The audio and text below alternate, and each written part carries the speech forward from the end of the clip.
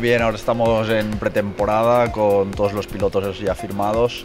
Tenemos tres para la Eurocup, que son los que correrán a la primera carrera aquí en Motorland.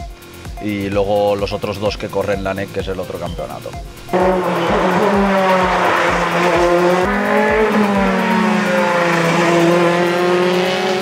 El año pasado teníamos dos pilotos, eh, uno terminó campeón de la rookie, que era su primer año, y este año lo volvemos a tener, el primer, eh, entonces vamos a intentar estar de los cinco primeros, intentar estar en todas las carreras.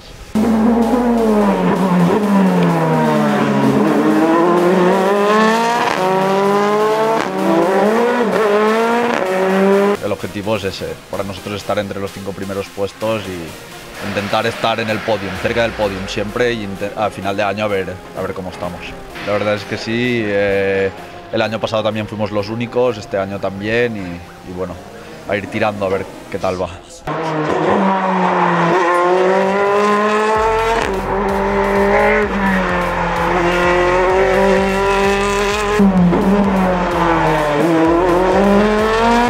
Todo muy bien, la verdad es que sí, el circuito perfecto.